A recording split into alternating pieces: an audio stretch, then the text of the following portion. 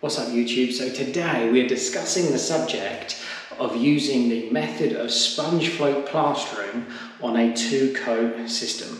So on the walls that we've got here, what we're going to do is we're going to apply two coats of plaster and then we're going to look at using the sponge float method to help us get a better finish. And so what we'll do is we'll just put these walls on Again, it's the, it's the, same method as we always do when applying two coats of plaster. So apply the first coat, flatten it, let it pull in, and then apply the second coat. And at that point, what we're going to do is we're going to pick the video back up and then we will discuss the reasons why you might want to consider using the sponge float, what the pros and the cons are, and also the finish that you receive at the end. What we'll do is we'll also run a timer on my watch so that you've got a rough idea of, of the timings when using this method of plastering. So we'll catch up once I've put the uh, two coats of plaster on these walls. Okay, so we are now at the point where we're going to sponge float this wall. Now, uh, the point where we're at, what we've done is we've put our first and our second coat on and we flattened it and we've just left it uh, enough time to pull in. So what we're going to do now is we're going to apply a light haze of water over this wall. Now what we're using here is we're using one of the Hozelocks. This is the five litre one, something like that. Um, I could recommend either the five or the seven litre, um, any smaller than that and you'll be filling it up and it takes ages to apply so you really want one with a boom on it. And on pretty much the finest setting that it has on the nose, and just give it, give the wall a light haze. So you want to apply enough water to the wall so it's staying on the wall as opposed to immediately being sucked in. So if you leave it too long, it'll immediately suck in and it'll have little to no effect. So you can see if I was to show in the camera, you can see that there is water on the surface of the wall. Now what we're going to do now, six sponge float, so the one I personally prefer to use is the Refina. So it's the Refina medium soft, I think it is. Um, you can get the, the larger one, the smaller one. Personally, I actually think I prefer the bigger one. This one, the handle's quite annoying. Um, and what we want to do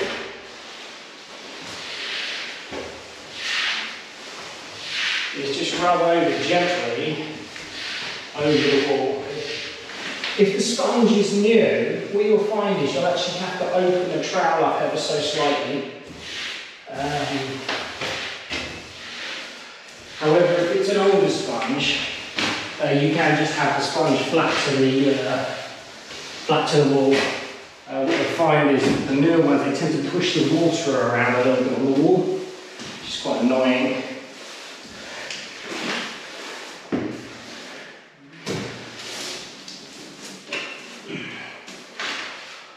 Okay, so now, if you've timed it right, if you look at the sponge float marks now, you should give just an ever so slight matte finish or matte look to it.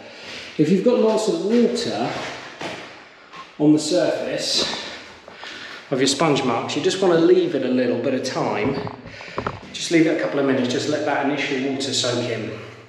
And now what I'm going to do is I'm just going to sponge float the other walls off camera and then we'll come to spatting this down. So onto the spatting of these walls. Now as uh, mentioned in many of our videos, we're going to use the Refina Comfort Grip plastic spatula, I think it's called. Uh, but the Speedskim or anything like that will be fine. You could use a trowel. My honest opinion, why would you want to? This is a metre long, makes life an awful lot easier. But uh, what you're looking to try, the finish you're looking for here is it should, when you rub your fingers over it, it should take the sponge marks out straight away. Um, if you've got water on the surface, too early to sponge it, uh, to spat it down. Just leave it for a little bit longer. Uh, this wall here is ready to go. Now, it should be fairly obvious because as soon as you start to run spatula over it, sponge marks should disappear. So if I go as close as I possibly can to the wall here for you, so what I'm going to do, hopefully you can see the sponge marks, what I'm going to do is I'm going to run the speed over the top of it, and straight away, the sponge marks are gone.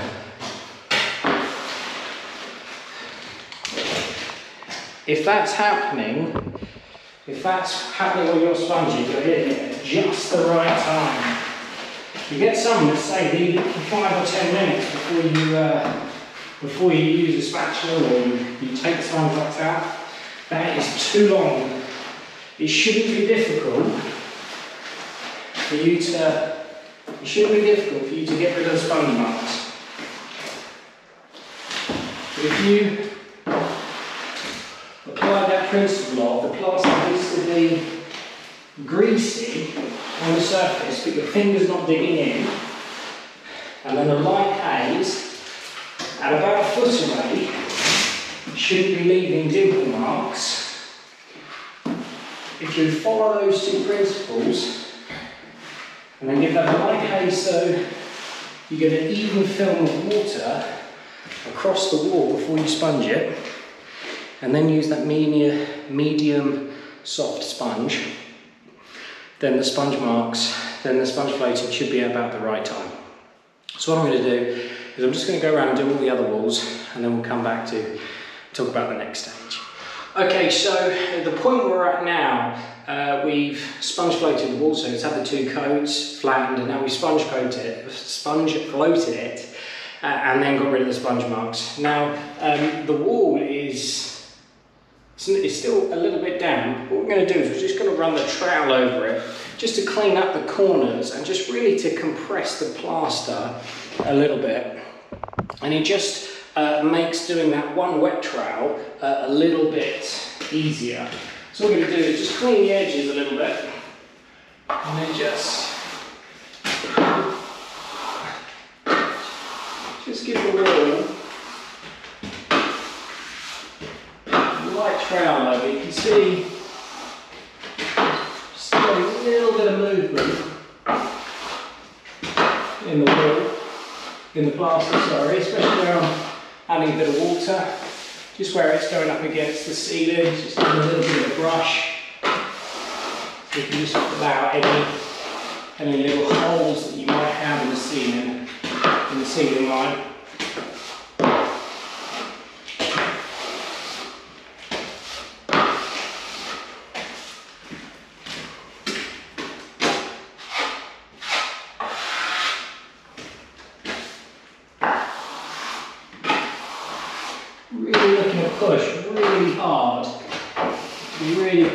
the plaster that's very flat trowel angle. But you're pushing quite hard. So the only water I'm really adding is just on the on the edges, just to just to clean them up a little bit.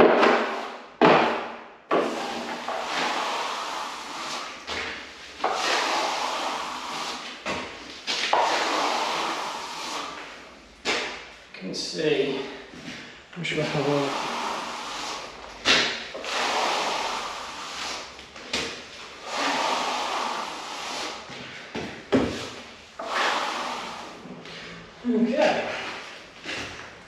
So that has now had just a, a, bit of a dry plaster, just to really compress the plaster, just while it's still got a little bit of moisture in it. And then all we're going to do is we are just going to leave it to go right off pretty much so it's touch dry.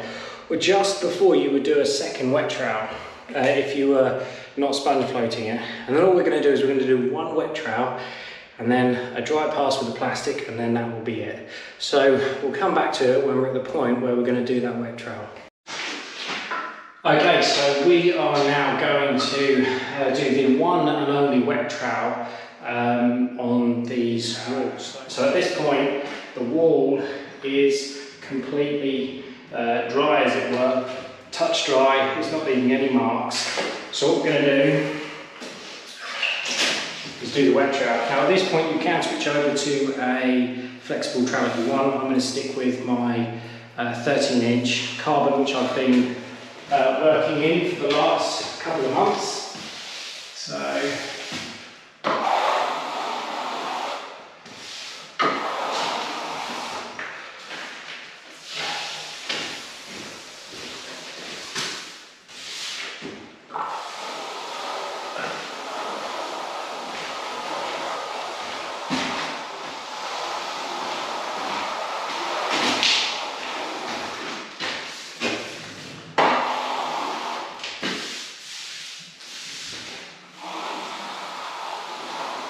So reasonable pressure, nice amount of water. Don't have to uh, go side to side, but it's a bit quicker on a wall like this. If you didn't go, uh, if you didn't go side to side on this pass, when you get the dry trowel, you really need to do that sideways.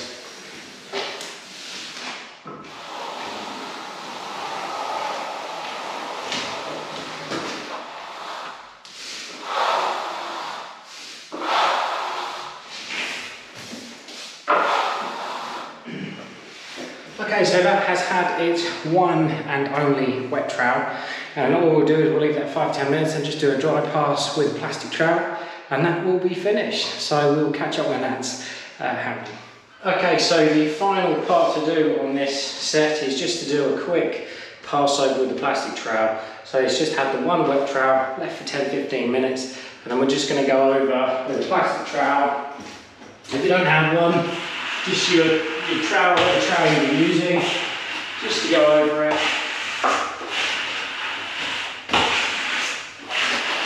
And this is just really to give that nice, soft, silky finish.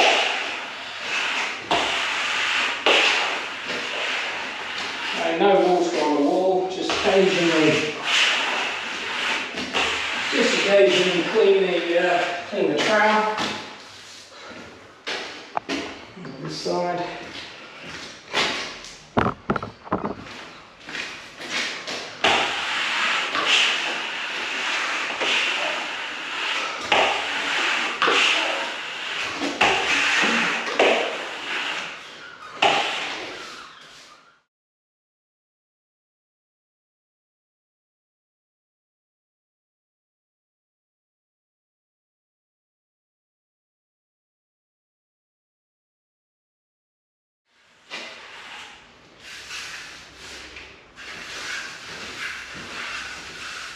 And that is it.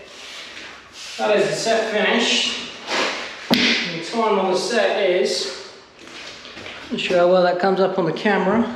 If I turn it around, saying two hours and 28 minutes. So this is the finish.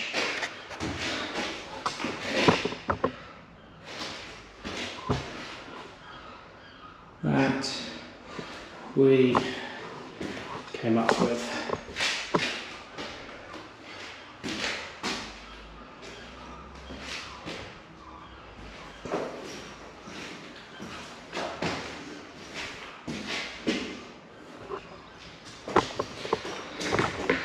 So that's basically it. That's basically the process for using a sponge float finish on a 2K system. Let's say it was running at around about two and a half hours, give or take. Um, and the finishes come out really nice. Um, let's say only one wet trowel and then a dry towel just to finish. So what of sponge floating? The big questions, is it better, is it worse, should you do it? Well, I suppose the most important question is can you use it all the time? And the answer is no, you cannot. There are times where a set is so large that you physically can't get round fast enough. The key with sponge floating is that you have to be ahead at all times. Um, if after you've done your second coat it's pulled into the point where you need to start doing a wet trowel, it is too late to sponge float that. So on really large sets or perhaps the room you're plastering in is drying really quickly, you won't be able to get it on quick enough to be able to sponge float that. So there are times where you cannot use it. That said though, um, does it make you a better plasterer if you don't have to use sponge floating? Well, in my opinion, no, not at all. That said, does it make you a better plasterer because you sponge float? No, not at all. The reality is, it is just a method uh, to smoothen out the plaster, to get it flatter, to put a little bit less stress on your body to get a decent finish. Yes, there are those that two coat don't need to use sponge float at all and they get a beautiful finish and that's absolutely fine, there is nothing wrong with that. But the reality is for the DIYers, those new into it, or, or even the experienced plasterers that struggle with things like tiger marks, or getting it flat, or getting that beautiful mirror flat look, sponge floating makes that an awful lot easier. And that is the reality of it. When appropriate to use, so namely when the set isn't so large or isn't pulling in really quickly, it just makes your life a bit easier. That said, if you don't want to use it, you can get a good finish. There's no problem with that. There's nothing wrong with this method. Uh, it, it, certainly in the plastering industry, it's almost looked down upon to use this method. But the reality is it's an awful lot less work. It's a lot less strain on your body and it gives a fantastic finish. If you're good at two coating without sponging, when they're both painted up together, they look exactly the same.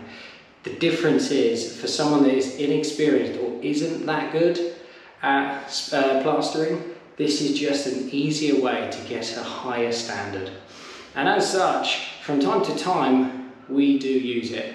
As mentioned on our other videos, it's not a, a go-to method that we use, but from time to time when it is appropriate, uh, we do use it to make our life a bit easier. So we hope this video really helps you understand the process for using sponge floating on a two-coat method. Uh, the method is completely different for one coating and we will review that. But this just really gives you an idea as to the finish that you can get and possibly the reasons why you might consider uh, using it. We thank you so much uh, for watching the video. We hope you found it helpful. By all means, consider giving it a thumbs up and subscribing if you find this content uh, interesting. We thank you all those who have subscribed to the channel and we look forward to seeing you in the next video. Thanks again.